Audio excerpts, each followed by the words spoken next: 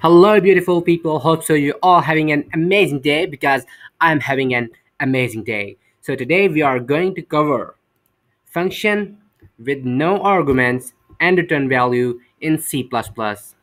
It's the fourth and last category of function.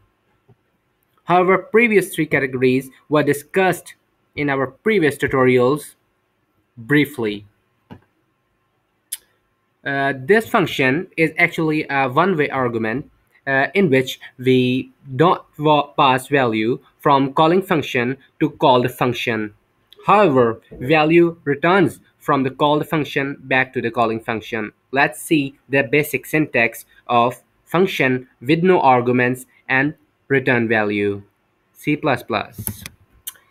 First of all, you people are watching the prototype, which is function type which are which we are using in right now and larger is an identifier and you can see the empty parentheses because there are no parameters present here. Below which is a function call which is a standalone here. Uh, larger is an identifier and again the empty brackets.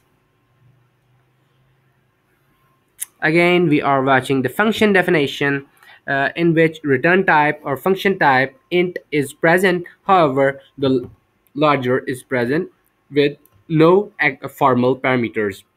However the function body is present in the curly brackets. So in order to properly understand we are going to do a small example to understand the concept of this. We are going to do the addition of three numbers using the function with no arguments and return value. Let's move towards our Visual Studio. First of all, we will write hash include, which is preprocessor directive. iostream stream is a header file which contains input-output function and using namespace.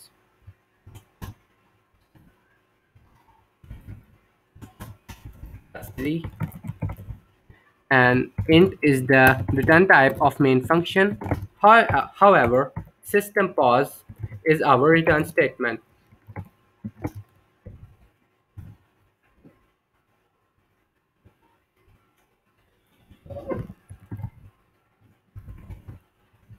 So this is the basic syntax of C++. Uh, let me bigger increase the font okay here we go. First of all we will write the prototype which is because we have return value so integer for example and our function name let's see addition with no parameters and terminated means semicolon. Then write the function call which is addition and no parameters then the function definition which is int addition.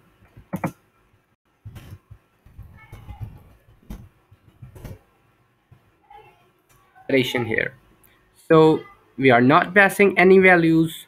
We will take uh, we will perform every function in the every operation in the function definition.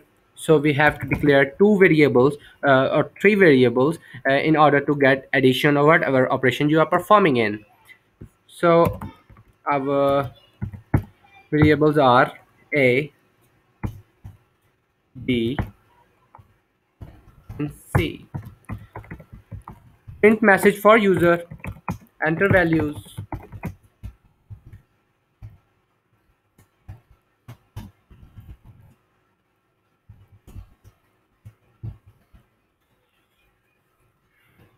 And do write terminator here and call like this. And also initialize a third variable to store the value to return the value back to the main function or calling function. So get the sum like this.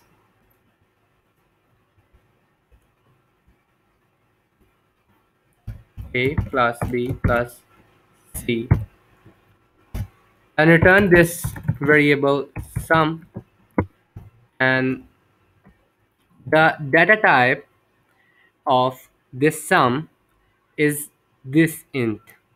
The sum is returning with the help of this data type which I am pointing this one okay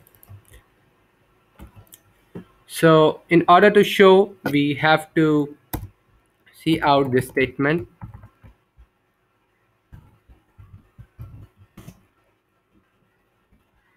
uh, however there's an also another way which is we ha you have to declare this variable first. We can also save this function like this.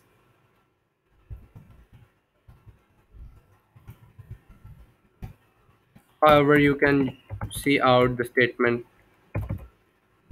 like this. But I am commenting this because we are not using this method right now we are just using this here okay? So you can you also yes here is the our program. If we run this then we will get the sum of three numbers. Let's run the program.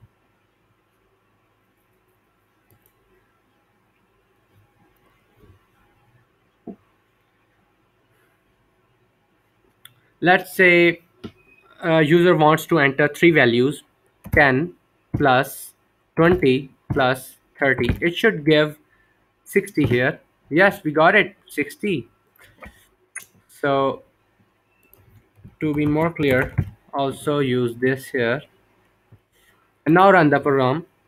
Again the three values are 20 uh, 10 20 and 30 we should get 60 here yes we got it. 60 here it is.